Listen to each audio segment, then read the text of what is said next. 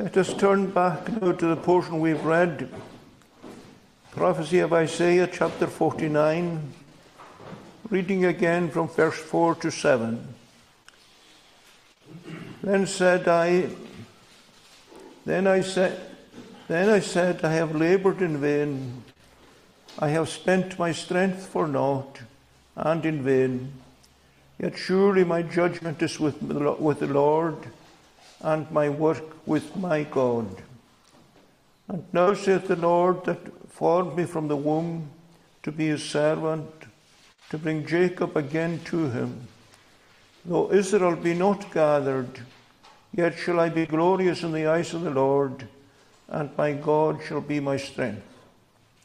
And he said, It is a light thing that thou shouldest be my servant, to raise up the tribes of Jacob, and to restore the preserved of Israel.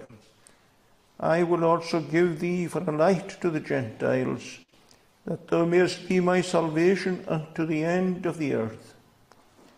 Then said the, said the Lord, Thus said the Lord, the Redeemer of Israel, and his Holy One, to him whom man despiseth, to him whom the nation abhorreth, to a servant of rulers, kings shall see and arise, princes also shall worship, because of the Lord that is faithful.